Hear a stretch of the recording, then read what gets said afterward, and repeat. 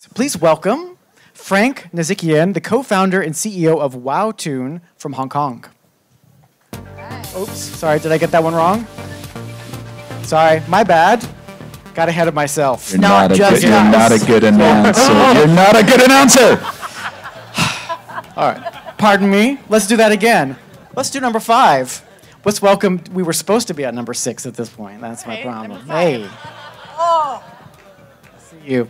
Okay, number five. Please welcome Duleek Ranatunga, the, co- the founder and CEO of Ourotech from Ontario, Canada.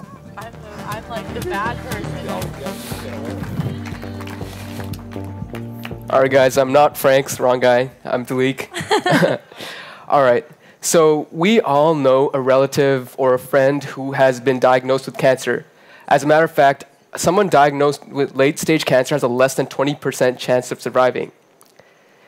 And the current way to treat cancer is to make it personalized. See, cancer is a very personal disease. It's your own cells mutating, and generic drugs just by themselves aren't going to cut it. So, how do hospitals treat uh, cancer right now? Well, it's uh, done using something called target based drug discovery. So, taking a small tumor sample from a patient and testing which uh, genes are positive or negative, active or inactive in that cancer. Basically, figuring out a profile of the tumor and then matching it with a drug. So, the doctor uses their intuition, past experience, and clinical data to make a leap from this drug is supposed to work on this type of cancer, this patient has this type of cancer, let's treat him with this. This is not an exact science, this is intuition. What Ourotech does is something called phenotypic drug testing. So we actually take small tumor samples and test which drugs will kill the tumor and quantify that, then determine the dosage that will be best used for the patient. So that instead of using intuition, we can turn personalized cancer treatment into an exact science using data and anal- analysis. So our process starts by taking the patient uh, tumor sample from a biopsy. Our technology lies in a product called the hydrogel, a chemical that allows us to grow hundreds of small tumor samples that, and, mimic, uh, and mimic the environment found inside of a tumor. So it basically mimic the human uh, body, the conditions found in the tumor. Uh, our first product is uh, mimicking late stage breast and colon cancer. From there, we can test different drug combinations, see which one works the best, and which, one, uh, which tumors are resistant to which drugs, or if uh, drug resistance can develop later on. That way, we can uh, determine which of the combinations is the best over the treatment period and administer that to the patient so that they have the highest chance of surviving. So, since starting this company, we've validated our first product on breast cancer, and we have academic and pharmaceutical pilot testers and two patents pending. Uh, we've tested over a thousand breast cancer tumors so far for HER2 positive breast cancer. It's the most common type of breast cancer. And uh, we will be starting preclinical trials next year uh, in Korea in January or uh, between January to March, and later uh, in North America as well. We've done this uh, with a team that has a lot of PhD professor, professor experience, of course.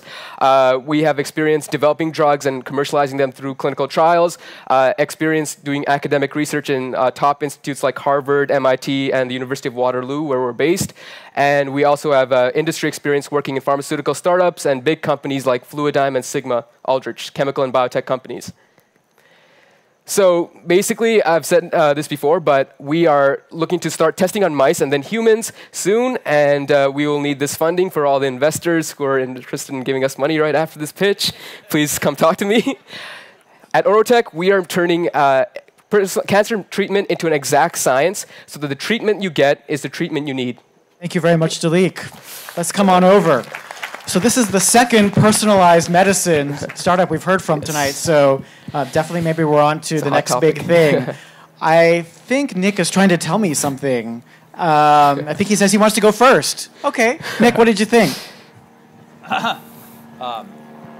Are there other approaches that are similar to this, or are Yes. you unique? So there's something called avatar mice. So we do it inside of a gel, a chemical product. Uh, this can also be done inside of mice. The difference is the mice cost 10 times as much, and it takes six months to do it. So for a late stage cancer patient, that's not really an option to wait six months. We do it in one week for a tenth of the cost. So when you have late stage cancer, you have to go to us, basically. That's it. That, that's the delta. I mean, Right. And there's there's- nothing else so- that's as efficient as yours. Yeah, so uh, the other companies that are in this space um, have specialized in different cancers. Their technology is designed to mimic certain cancers.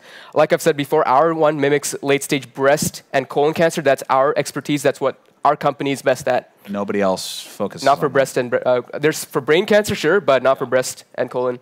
And the other ones that do the targeted, so yours, um, some of the other ones actually don't just figure out the dosage and the type of drug. They actually create specialized, personalized cocktail of a drug. D- how does that compare to what you're doing? Right. So with actually making, uh, uh, so when we do this combination testing, it is on cocktails of drugs or individuals uh, drugs. So we can test either of those. And if you're talking about making a new drug per person, that companies have tried that and they've failed because it's completely commercially unfeasible to make a new drug for each person. Uh, which is why you have to take existing drugs or cocktails of drugs and test out which one will work better on a patient. Is there other questions? Kate, any questions before we go to scores? I'll be here all night, which you don't want. um, wow, that it's amazing. Uh, but you're still obviously in the process of you you you need funding to get into testing on mice, and then you would like to go into testing um, on real people, Yes. right? Yes. Um, so we've tested on human uh, tumor samples, just not put the drugs into people yet. For And the reasons. and the and the tumor samples and your your success rate with the tumor samples has been able to yeah, so we can test the drugs, but we can uh, we can we have to do a clinical trial to see if we can increase the survival rate. So we'll take let's say late stage breast cancer, 20% survival rate, and our goal is to get 30%, 40% survival rate, so double you know that survival rate of patients. Wow. What's your timeline on that? So uh, two years for all the mice testing and three more years to four years for the clinical trials. Uh, and of course, with a healthcare company, during the clinical trials process, you can be acquired by a pharma company during the process. That's usually how it works. This is LA, man. You could get people to try these drugs a lot sooner than that. That's a good I'm point. just saying. I think it's time for some scores. Teresa. So first, I think what you're doing is great. Thank you. Um, I'm going to give it an eight and a half because I feel like it's very promising, but it's still quite a long timeline. Uh, and uh, but what you're doing is amazing for some people who are important to, I'm sure, many of us. Thank you. Thank you. Nick?